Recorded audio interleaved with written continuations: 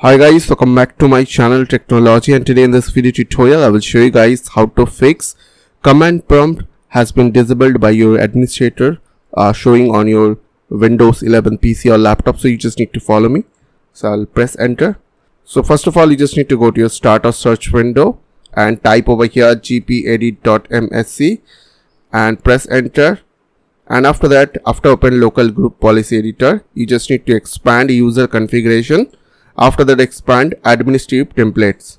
Now you just need to click on system folder from your left side over here as you can see. On your right side you will get option called uh, prevent access to the com command prompt. So double click on it. Now you just need to uh, set it to not configured or disable okay? So i will set it to not configured. After that click on apply then okay.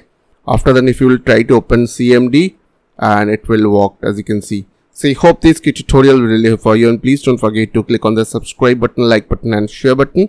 And if you have any questions or questions then comments down below. I will see you guys in the next one next video. Till then bye bye take care